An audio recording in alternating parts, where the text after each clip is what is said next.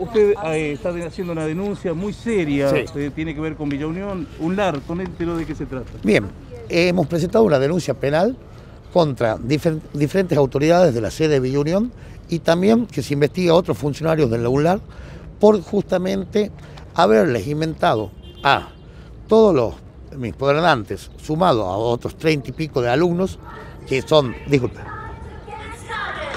de la carrera de licenciatura en enfermería, una carrera que no existió. Es decir, cursaron básicamente un año y pico con profesores, con toma de exámenes, con horario, con firma de libreta, con firma de acta. O sea, como si existiera una carrera y después se les avisó directamente que no existía la carrera. Es decir, ¿por qué? Porque la carrera, esta carrera eh, tiene un título intermedio que es de enfermero universitario. Es decir, todas las personas que tenían enfermero universitario en de Unión se les anunció en el año 2017 públicamente, por parte del decano de dicha institución, que se habilitaba el segundo ciclo, que es justamente la posibilidad de obtener el otro título, que es licenciado en enfermería. A partir de ahí se abrieron las inscripciones, se les dio matrícula a los alumnos, se les dio un horario, se les puso profesores, empezaron a cursar, se les tomó exámenes parciales, exámenes finales, todo esto sin tener aprobación de la CONEO de la carrera. Y todo después, al otro año, se les avisó de que todo lo que habían cursado, rendido y demás, no existía y que no podían convalidarlo, lo cual resulta una locura, una, una cuestión inconcebible. ¿Usted ahora está representando a algunos alumnos? Sí, yo estoy representando a un total de ocho alumnos de unos 40 y pico que habría como afectados. ¿Cu- ¿Cuándo sucedió esto, doctor? Esto sucedió todo el año 2017, cursaron sin saber ellos, obviamente, y año 2018 eh, se los trasladó a La Rioja y empezaron con notas y demás, con la esperanza de que podía solucionarse hasta el año 2019, en el cual vieron que no había Eh, posibilidad. Teniendo en cuenta que hubo pandemia en el año 2020 y eh, hasta- todavía estamos en pandemia, ¿usted cree que eh, desde la comunidad con la universidad podrían llegar a subsanar este tema? Porque hay dos carreras, una es enfermería, otra es licenciatura en enfermería. Claro, o sea, mis postulantes ya tenían el título de enfermería y, y se habilitó, o sea, de palabra y de forma vil, una carrera en la sede de Villa Unión que no estaba habilitada por la CONIAU. ¿Por qué? Porque las disposiciones universitarias establecían que esa carrera, o sea, la licenciatura en enfermería, solamente podía cursarse en la sede Chamical y La Rioja.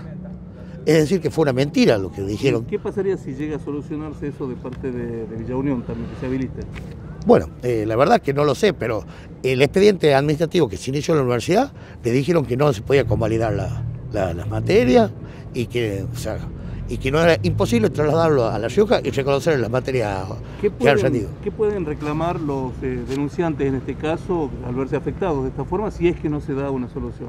Y bueno, obviamente, o sea, tiene la responsabilidad penal de todos los funcionarios que hayan intervenido o hayan, por forma de acción u omisión, tenido conocimiento del hecho, ya sea en la sede de Villa Unión y también de acuerdo a las responsabilidades funcionales con los de la- los funcionarios del UNLAR, ¿Y a nivel civil? y también, espera, y también la responsabilidad civil, obviamente. Fíjese que tiene una carga horaria de 1.330 horas, lo que los alumnos cursaron, fuera del esfuerzo para cursar, el económico, el tiempo para estudiar, el tiempo para rendir, o sea, tanto parciales como finales. ¿Se, se puede nombrar a las autoridades denunciadoras, doctor? ¿Quiénes serían? Mire, nosotros acá hemos considerado que eh, tipifican los delitos, en primera instancia se los menciono. Igual es una cuestión de que solicitamos también que se investigue a todos los funcionarios que tengan responsabilidad funcional, que es una tarea que lo hará el fiscal. Acá le voy a mencionar. Pedimos a Santiago Silvio en su carácter de decano regional de la sede Villa Unión, a Muñoz José Nicolás en su carácter de secretario académico de la sede Villa Unión, a Brizuela José Luis en su carácter de secretario estudiantil de la sede Villa Unión, a Shap Silvia en su carácter de decana del Departamento de Ciencias de Salud de la UNLAR, Daniel Vega en su carácter de director de informática y Martínez Marcelo en su carácter de secretario académico de la UNLAR. Todo ello basado en la prueba documental de las constancias que hemos presentado, que hemos presentado cerca de 300 fojas de documental donde están las actas, libretas, exámenes, planillas de asistencia, o sea, eh, también notas de, y también documentación que surge de un expediente administrativo de la universidad.